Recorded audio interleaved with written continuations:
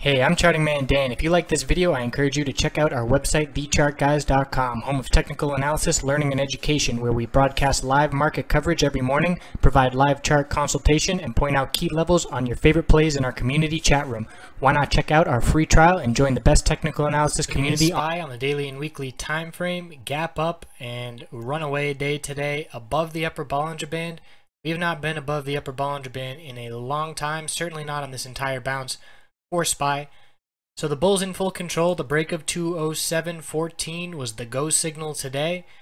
And off to the races. The high of the day, 208.10, will be a resistance level to keep an eye on tomorrow. And then the next levels, we will obviously need to zoom out and look at the weekly chart for those resistances. One thing I want to point out is the hourly chart. The RSI has been overbought for SPY longer today than it has at any point in the last month.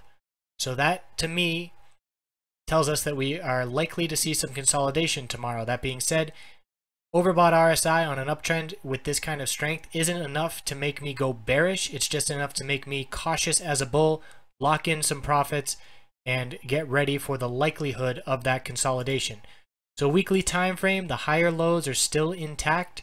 That makes nine weeks in a row now. We've got higher highs still coming, and the key levels we're looking at, 208.68, 209.33. As long as the price is below those levels, it is still a third lower high on this longer term downtrend.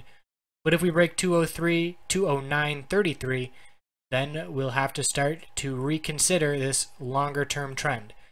So bulls coming out in full force, due for some short term consolidation, watching that 209.33 level. We'll see how it goes. TheChartGuys.com is the website. Free trial, no credit card required. New website coming out in two days. Should be lots of fun, lots of improvements coming with it. I appreciate you watching and hope you have a great